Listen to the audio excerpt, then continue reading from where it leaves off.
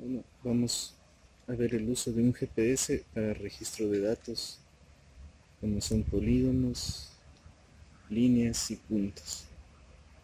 El equipo que tengo aquí es un Garmin Oregon 300, es un GPS navegador, el cual vamos a utilizar para este tutorial. Lo primero que se recomendaría sería verificar que tengamos una buena señal de GPS. En este caso, en este equipo lo podemos hacer pulsando en el icono de las barras de señal. En este caso vemos que está completo, pero si queremos más detalle, al pulsar ahí podemos ver algunos datos como la posición actual, los satélites a los que se encuentran conectados y también la precisión que calcula actualmente, que en este caso es de 4 metros que nos sirve, que nos sirve para trabajar. Va variando dependiendo de la cobertura vegetal y otros factores. Entonces vamos a iniciar calculando un área. Este equipo no nos guarda polígonos en sí, pero nos permite calcular áreas y nos guarda el perímetro en modo de, línea o polilínea, podría decirse. Entonces, para iniciar con esto, ponemos en el punto, nos ubicamos, nos paramos en el punto donde deseamos iniciar y pulsamos el botón de cálculo de área. Aquí nos indica, pulse iniciar y camine por el perímetro del área que desea calcular. Al final pulse calcular para saber el área de ruta que ha recorrido. Entonces eso es lo que vamos a hacer. Vamos a pulsar iniciar y vamos a desplazarnos por el perímetro que queremos calcular.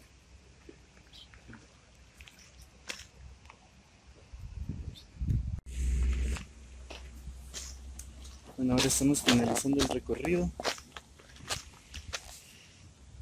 Una vez finalizado, pulsamos en calcular. Aquí nos calcula, como queremos conocer, por ejemplo, en el sitio, qué área tenemos. Se calcula en este caso 6.459.8 metros cuadrados. Ahora, si queremos analizar esto luego en oficina, en computadora, lo que nos convendría sería guardar el recorrido que hemos hecho. Aquí en guardar track. nos pone por defecto un nombre con la fecha correspondiente al, al levantamiento del recorrido pero nosotros podemos cambiarle según nuestra conveniencia en este caso le voy a poner perímetro perímetro parque listo comienza a exportar el track Esperamos un momento para que nos confirme que se ha guardado.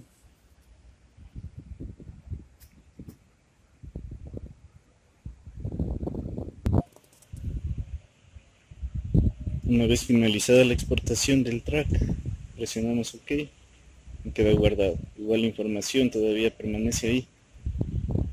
Como dije hace un momento, esto nos puede servir con este GPS para conocer en el sitio el área que, de algún terreno, de algún territorio que deseamos conocer. salimos de aquí y podemos verificar que en la opción de Track Manager va a aparecer lo que hemos guardado ahora, perímetro parque. Podemos verlo en el mapa. Se puede apreciar con una línea celeste se muestra el área que se ha guardado. Insisto, este equipo no nos guarda como un polígono en sí, sino como una línea.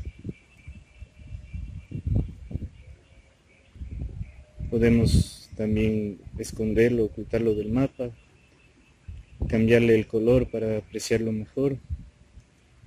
Nos puede mostrar también un perfil de altura que se ha recorrido. Todo esto de manera referencial.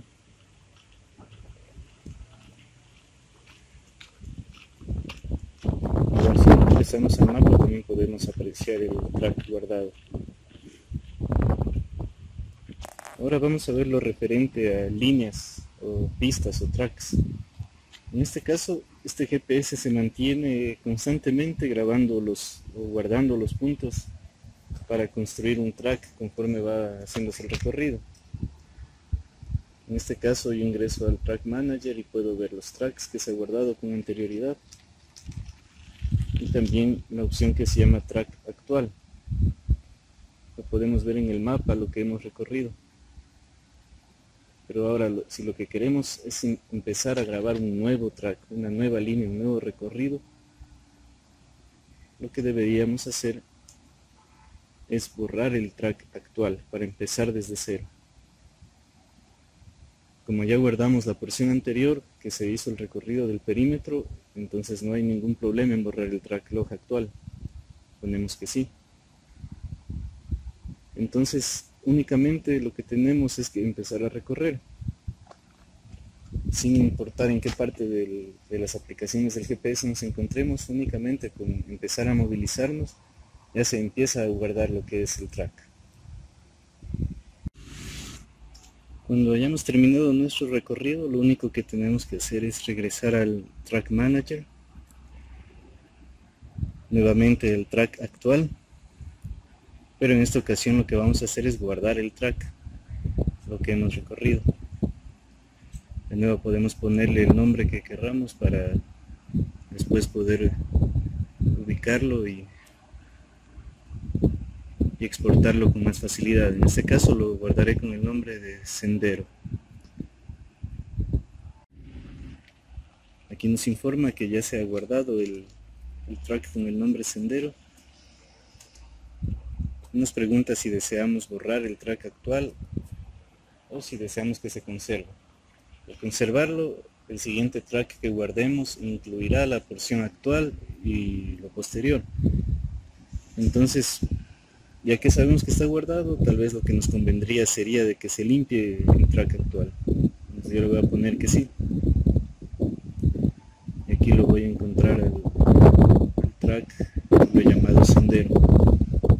Lo puedo ver en el mapa. puedo cambiar de color para que se visualice mejor.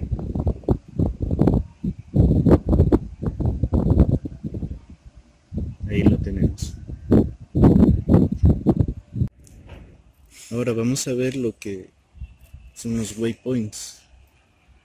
Los waypoints son los puntos que nosotros podemos requerir en algún levantamiento y queremos que se queden guardados, almacenados en el GPS para después exportarlos y saber eh, su posición y hacer cualquier otro proceso que necesitemos con ellos.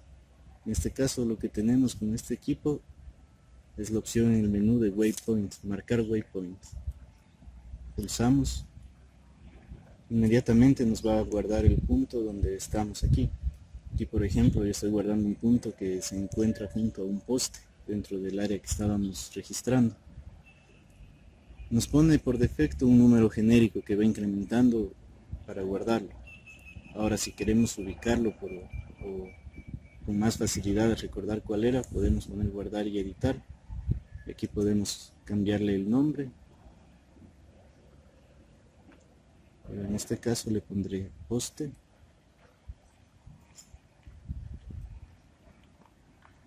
podemos cambiar el símbolo con el que se muestra en el mapa. En este caso utilizaré nada más un círculo de algún color. Podemos ponerle un comentario que esto también se puede reflejar en la exportación del, del GPS al computador. Podríamos poner alguna otra característica que nos interese de este elemento. Ejemplo le voy a poner la palabra hormigón para indicar que es el material del que está elaborado este poste.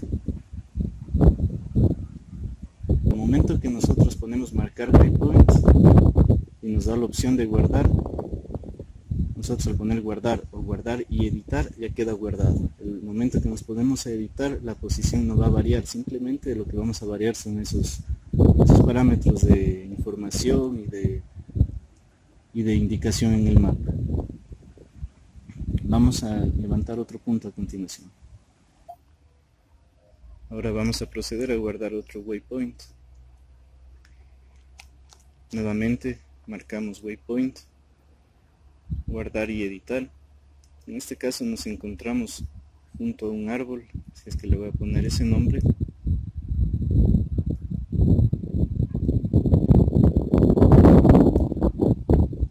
El comentario le voy a poner el tipo de árbol en el que estoy. Esto depende esto depende ya del de la conveniencia del tipo de datos de, el tipo de base de datos que estemos también elaborando. Esto podría cambiarle el símbolo si es que hay alguno que me permita identificarlo mejor como árbol.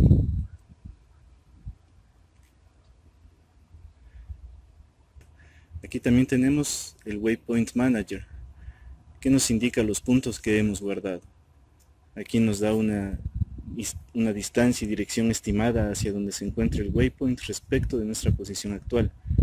Como en ese momento nos encontramos junto al árbol que acabamos de levantar, nos indica 0 metros hacia el sur.